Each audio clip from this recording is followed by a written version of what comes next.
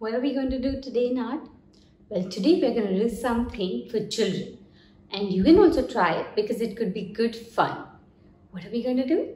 Well, we are going to spell out cat, C-A-T, and make a cat out of it. You know how? Here we go. So first you write C A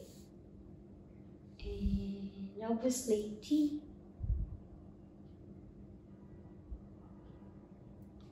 From the T bar we make a beautiful face. Give it its beautiful ears.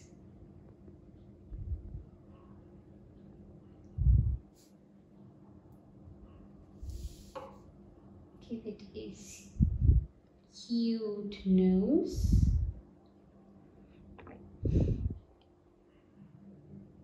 Give it its cute little whiskers.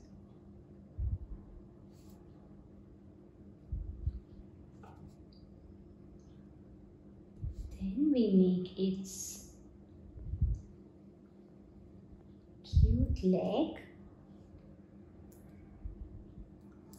Then from there, another leg.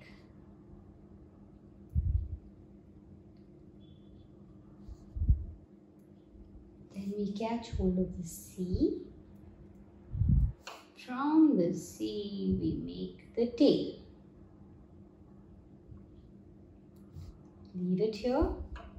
From here, we connect the A and take it right till the face. Then from this bar of C, we make another leg.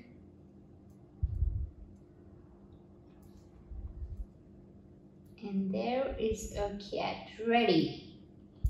Oh no, we have to make it have the eyes.